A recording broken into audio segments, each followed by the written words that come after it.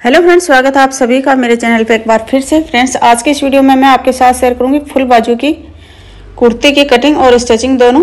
तो सबसे पहले हम लंबाई ले लेते हैं। तो लंबाई हमें 22 इंची तैयार चाहिए तो हम दो इंच एक्स्ट्रा रखेंगे। तो चौबीस इंची हम यहाँ से लेंगे और चौबीस इंची पे हम निशान लगा के यहाँ पर इस तरह से लाइन ड्रॉ कर लेंगे, क्योंकि डेढ़ इंची हमें नीचे चाहिए मार्जिन के लिए और आधा इंची हमारा सिलाई में ऊपर जाएगा। तो टोटली हम दो इंची एक्स्ट्रा लेंगे। और फिर लेते हैं हम यहाँ से शोल्डर तो शोल्डर हम लेंगे सात इंची। यदि आप कॉलर का बना रहे हो तो आठ इंची ले लीजिएगा। और यहाँ से हम लेंगे आर्मोल लेंगे साढ़े छः इंची। आप कॉलर का बना रहे हो तो सात इंची ले लीजिएगा। और यहाँ से हम लेंगे साढ़े चौदह इंची। इस तरह से कमर का निशान लगाया साढ़े चौदह पे और हिप का लगाया हमने बीस इंची पे। सभी निशानों को हम इस तरह से बढ़ा लेंगे।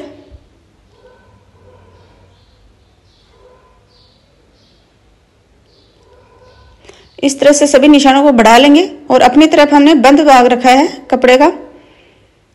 और अब लेते हैं हम चेस्ट का फोर्थ भाग। तो चेस्ट हमारी चौवालीस इंची है। चौवालीस इंची हमारी तैयार है। तो हमें ग्यारह इंची पे निशान लगाना है और एक इंची एक्स्ट्रा सिलाई के लिए। और कमर हमारी पैंतीस इंची है। तो यहाँ से हमें पौने नौ इंची लेना है और दो इंची एक्स्ट्रा लेना है, क्योंकि यहाँ पे एक इंच की टक्स डलेगी। और हिप हमें लेना है पैंतालीस इंची तो हमने यहाँ पर से लिया है।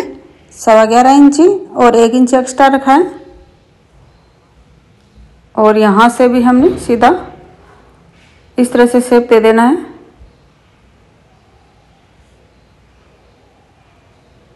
और नीचे से भी हमें इस तरह से शेप दे देना है। अब यहाँ पर हमने आधा इंच बाहर निकालते हुए इस तरह से सीधी लाइन ड्रॉ करनी है और हारमोल का शेप दे देना है। गोलाई में इस तरह से यहाँ पे डेढ़ इंची या पौने दो इंची का गैप आना चाहिए और गला ले रहे हैं हम तीन इंची और यहाँ से भी तीन इंची और लंबाई में साढ़े चार इंची ले रहे हैं, क्योंकि चार इंची हमें तैयार चाहिए। अब हम इसको कट कर लेते हैं।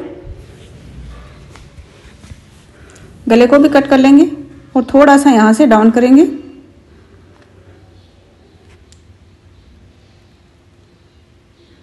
अब हम काटेंगे फ्रंट भाग। तो फ्रंट भाग को इसलिए हमने अपनी तरफ़ खुला रखा है और बैक पार्ट को इस तरह ऊपर रख देना है, अच्छे से सेट करके। और यहाँ से आधा इंच एक्स्ट्रा लेना है हमें, क्योंकि आगे की तरफ़ हमारी एक टक्स डलेगी। और यहाँ से हमें एक इंच एक्स्ट्रा रखना है, क्योंकि आगे की जो टक्स है वो बड़ी डलेगी और पीछे की थोड़ी सी छोटी डलेगी। आगे की टक्स है वो दो इंच की डलेगी तो यहाँ से हम एक इंच एक्स्ट्रा लेंगे और एजेटिज मार्किंग कर लेंगे। अब हम नीचे से एक इंच बढ़ाएँगे इसको। क्योंकि साइड से एक टक्स डलेगी तो नीचे से छोटा हो जाएगा, इसलिए हम एक इंच बढ़ाएँगे यहाँ से।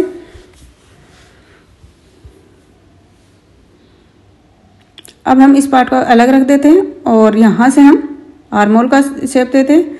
तो हमने यहाँ पर इस तरह से एक इंची अंदर करते हुए यहाँ पे इस तरह से शेप दिया है। अब हम गला लेंगे तो गला हम छः इंच का रखेंगे तो यहाँ से हमने साढ़े छः इंची लिया है। और इस तरह से हमें शेप दे देनी है। अब हम इसको कट कर लेंगे।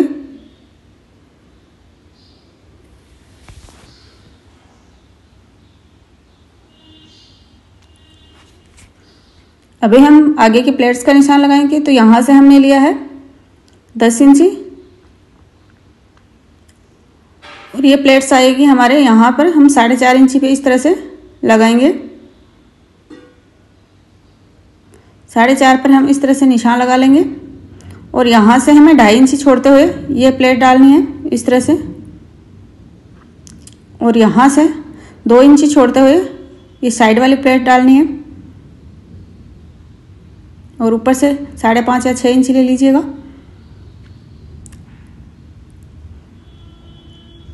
और ये प्लेट्स हम सवा तीन इंची तक इस तरह से डालेंगे।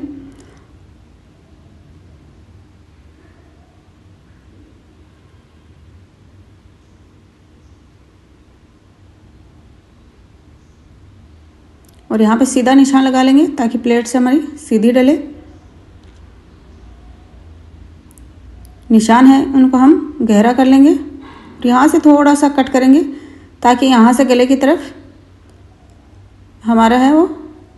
अच्छे से सेट हो जाए।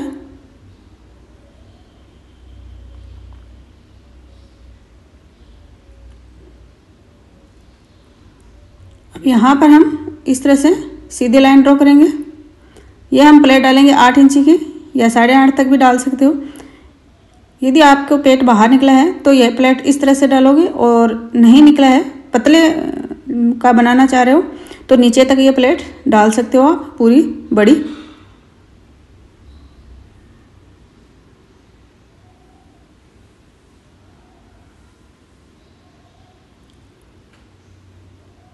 तो ये प्लेट इस तरह से टलेगी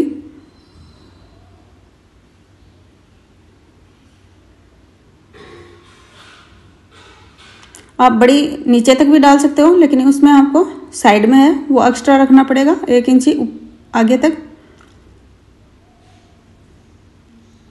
निशान हम नीचे उठा लेंगे। अभी हम बाजू निकालेंगे।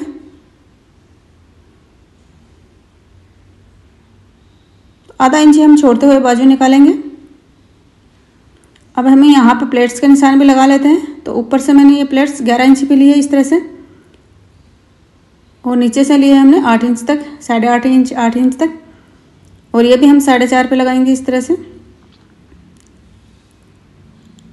और बीच का हिस्सा लेके हम इस तरह से आधा आधा इंची पे हम दोनों साइड से प्लेट्स लगा लेंगे। अभी हम निकालेंगे बाजू। तो बाजू का कपड़ा हमें इस तरह से रखना है। जो किनार है, उसको हमें इस तरह से तिरछा रखना है, ताकि हमारी बाजू में खिंचाव ना आए। इस तरह से हमें कपड़ा रखना है, एक साइड से तिरछा। ये देख लीजिए। जो कम कपड़ा है, वो हम आगे की साइड रखेंगे और ज़्यादा कपड़ा है, वो हम पीछे की साइड रखेंगे, जहाँ से शोल्डर जुड़ेंगे, हमारे हारमोल्स जुड़ेंगे। यहाँ से हमें तीन इंच डाउन करना है और यहाँ से हमने इस तरह से देखो, तीन इंच पे निशान लगाए और इस तरह से हम बाजू की शेप दे देंगे। और यहाँ से हम कट कर देंगे।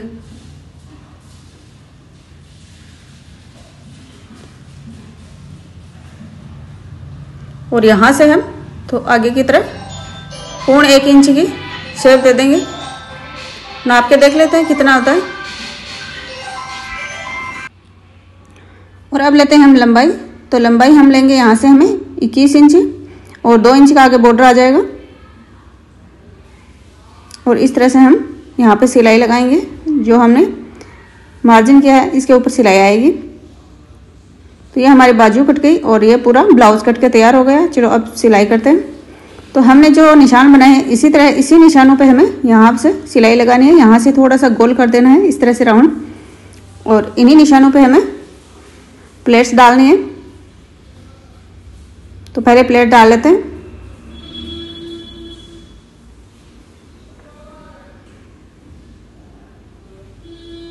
इस तरह से हम पकड़ेंगे। और बीच से इस तरह से हम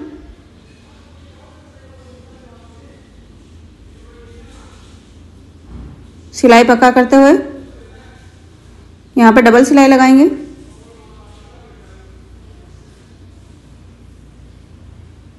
ये देखिए प्लेट्स। यहाँ पे हमने दो इंच का कपड़ा दबाया है और यहाँ पे हम आधा आधा इंच का कपड़ा दबाएँगे। दोनों साइड हम एक एक पैर का प्लेट्स लगाएँगे तो आधा इंची अंदर दब जाएगा। और ये प्लेट्स हम इस तरह से डालेंगे। यदि बीच वाली प्लेट आपसे इस तरह से नहीं डलती है तो आप नीचे से भी डाल सकते हो। उसमें आपको क्या करना होगा कि साइड में है वो एक इंची एक्स्ट्रा ले लीजिएगा कपड़ा बैक कपड़े से। ज़्यादा लेना है साइड से एक इंची नीचे तक। तो ये प्लेट्स आप नीचे तक डाल लीजिएगा।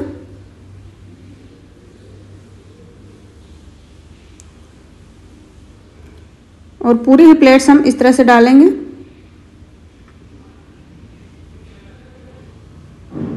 ये देखिए, इस तरह से प्लेट से वो डलेगी और इस तरह से हमारा शेड होगा। बहुत ही सुंदर पब बन के आया। और यहाँ पे जिसकी टमी निकली होती है तो वो आराम से फिट हो जाता है ब्लाउज।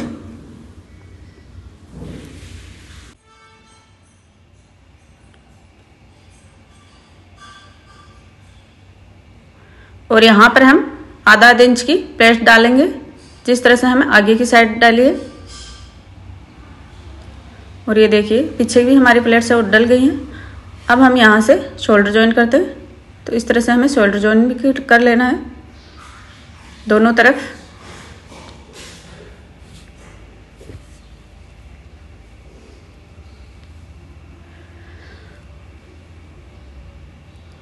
अब हम यहाँ पे आगे हुक और हाई के लिए पट्टी लगाएँगे। तो ये दो इंच की मैंने पट्टी ली है और एक साइड किनारी है। तो इस तरह से हम ऊपर रख के और पट्टी लगा देंगे। नीचे से पाँच इंच छोड़ते हुए हम यहाँ से कट कर देंगे पट्टी को। और इसको इस तरह से अंदर दबाते हुए सिलाई लगा देंगे। यहाँ से थोड़ा सा कट करके अंदर सिलाई लगा देंगे, थोड़ा सा अंदर दबा के। और एक सिलाई इसके ऊपर और लगा देंगे।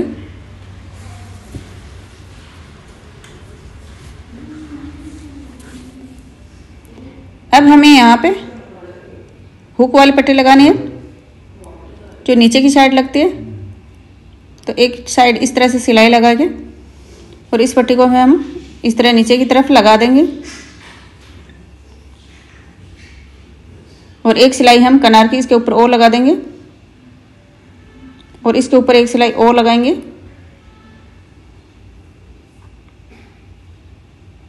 और अब हम साइड वाली सिलाई लगाएँगे, क्योंकि बाजू इसके साथ में अटैच नहीं करेंगे। हम इसको अलग से अटैच करेंगे बाजू को। तो यहाँ से हम इस तरह से पहले हम एक एक इंची अंदर दबाते हुए सिलाई लगाएँगे। अब हम यहाँ से नापेंगे चेस्ट। दोनों तरफ़ हम सिलाई लगा के यहाँ पे गोलाई में चेस्ट को नाप लेंगे। तो ये थोड़ा सा हमारा एक्स्ट्रा है, यानी एक इंची। एक इंची हमारी और दबेगी यहाँ से। अब हम कमर भी नाप लेते हैं इस तरह से। तो कमर हमारी दो इंची एक्स्ट्रा आ रही है यहाँ से। और हिप नापेंगे तो हिप हमारी यहाँ से थोड़ी सी है वो एक्स्ट्रा आ रही है। तो यहाँ पर हम एक्स्ट्रा आ रही है तो क्या करना हमें? ये ये प्लेट है जो पीछे वाली। उसको हमें नीचे से ही ले लेना है। तो हिप की साइड में हमारे नाप है वो परफेक्ट हो जाएगा। और कभी आपको लूज करने का होगा तो ये इस प्लेट को आप खोल लीजिएगा तो लूज भी हो जाएगा। अब हम नाप के देखते हैं यहाँ से। तो ये हमारी पूरी आ रही है।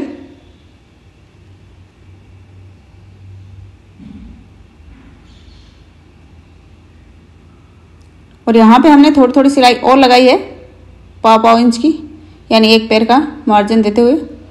और फिर हमने यहाँ से साइड से इस तरह से फोल्ड करना है, जहाँ से हमारा खुला भाग था। तो इस तरह से आप कट लगाते हो तो आपकी जो कुर्ती है, वो ऊपर की तरफ़ नहीं खिसकती है, वरना आपकी बार बार में ऊपर की तरफ़ खिसकेगी। तो इस तरह से आपको कट ज़रूर लगाना है कुर्ती में।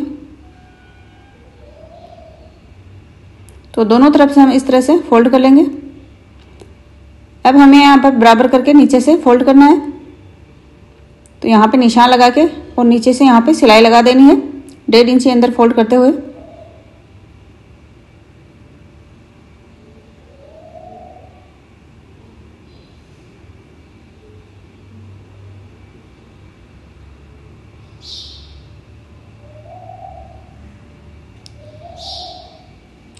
तो यहाँ पर हमने निशान लगा के बराबर नीचे से फोल्ड कर देना है, चारों तरफ़ से। और यहाँ से जो सिलाई लगी है, उसको कट कर देना ये देखिए। अब हम बाजू ज्वाइंट करते हैं तो सबसे पहले हम बाजू को दोनों तरफ़। ये हमने पाँच बाई साढ़े आठ के दो कपड़े ले लेने हैं इस तरह से चौकोर में। और दोनों को साइड से सिलाई लगा दी है। इस तरह से हमें इसको उल्टा कर लेना है। और दोनों तरफ़ हम इस तरह से कपड़े को फोल्ड करते हुए हम सिलाई लगाएँगे और बीच में एक कट लगा लेंगे और इसको इस तरह से नीचे रखेंगे और इसके ऊपर सिलाई लगाएँगे। एक भाग नीचे की तरफ़ रखते हुए हम एक ही हिस्से में इस तरह से सिलाई लगा के यहाँ पे दो दो प्लेट डालेंगे।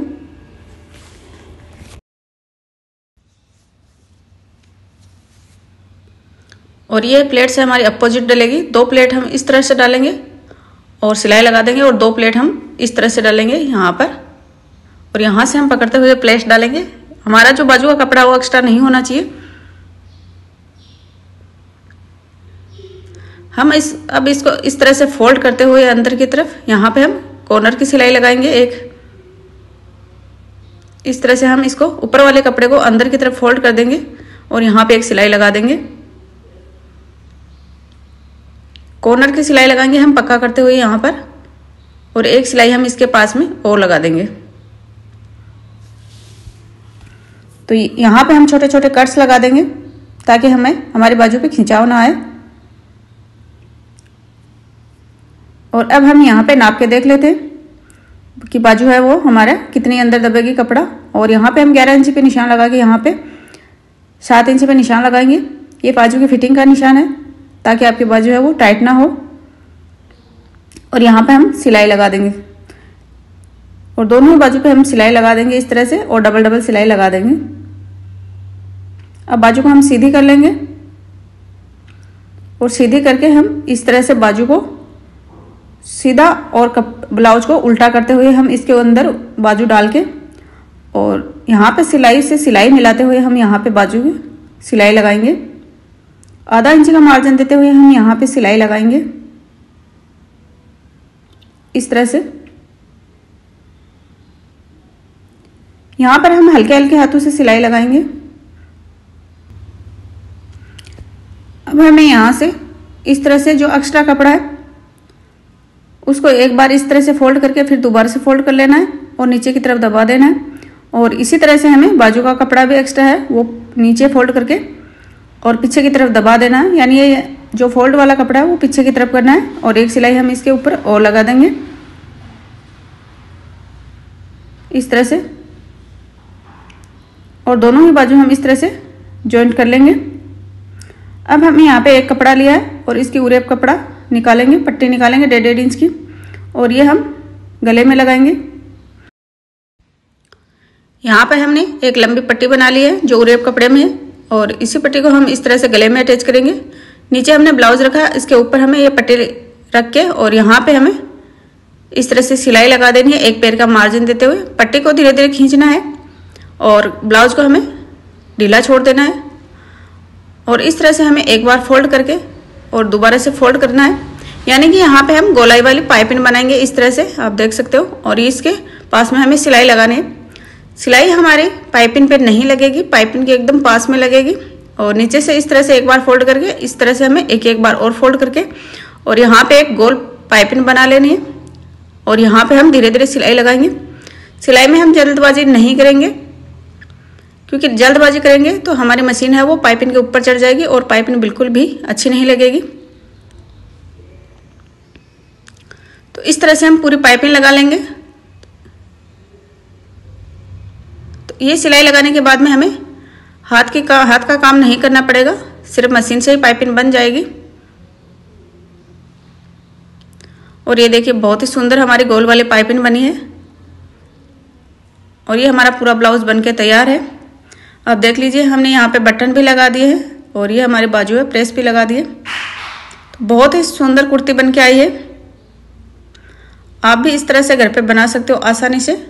बहुत ही अच्छी कुर्ती बनी है। इसकी बहुत ज़्यादा डिमांड थी। दो तीन कमेंट आ रहे थे कि कुर्ती बताइए। तो इस तरह से कुर्ती आप बना सकते हो, जो लहंगे पे पहनी जाती है। आप यहाँ पर कॉलर भी लगा सकते हो। और यहाँ से इस तरह से मैंने कट लगाया। ये कट लगाना ज़रूरी है, क्योंकि ये कट नहीं लगाओगे तो आपकी कुर्ती है वो ऊपर की तरफ़ घिसकेगी और ये पीछे हमने प्लेट्स डाली है। ये प्लेट्स हमने नीचे तक डाली है। आप मैंने पहले बताया तो उस तरह से भी डाल सकते हो। कोई दिक्कत नहीं है। और यहाँ पे मैंने ये देखिए गोला बनाया, गोल। और ये पहनने के बाद में भी बहुत ही अच्छी फिटिंग आई थी इसकी।